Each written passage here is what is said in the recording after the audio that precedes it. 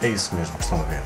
Isto é Rivella, a é maravilhosa bebida suíça, o refresco dos refrescos, o Ica dos montes, dos Alpes.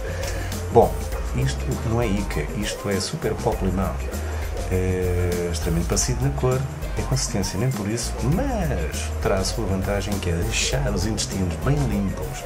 É, com o pequeno inconveniente de talvez fazer um pouco de espuma a mais no cocó. É, fora isso, pronto, é, é uma bebida como qualquer outra, é, deliciosa, deliciosa, é essa a palavra.